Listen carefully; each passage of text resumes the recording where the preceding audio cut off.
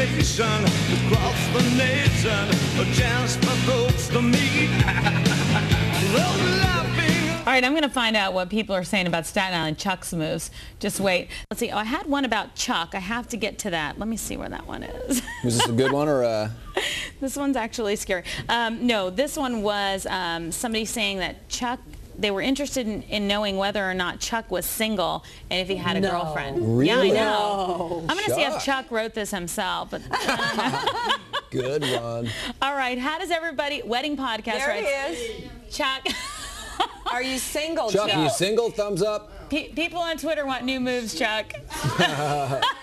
That's that means yes.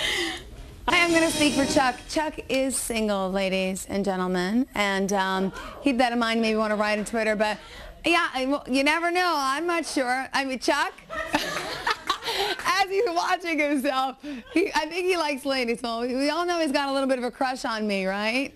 Yeah, you do, Chuck. But we'll see. You never know what's going to happen. We'll do more Twittering updates in just a sec.